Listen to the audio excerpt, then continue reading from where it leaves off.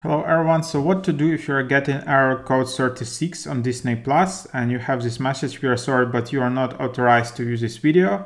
If you think you are seeing this message in error, visit Disney Plus Help Center. So we are in the Disney Plus Help Center and what they say here, this means that the video you're trying to watch is not available at this time. This could be a rights availability or internal system issue. Uh, so just try again to reload uh, the app, just try to uninstall the app and stuff like that. If this problem continues, please contact customer service at the following channels. So either live chat if they call them or either social.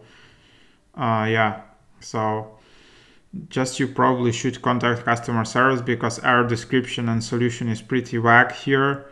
So it can be either some rights availability, but it can be also some internal Disney Plus bug. They have quite a few bugs at this moment because they are just started. So yeah, I hope yeah you can just contact our support here. Thanks for watching.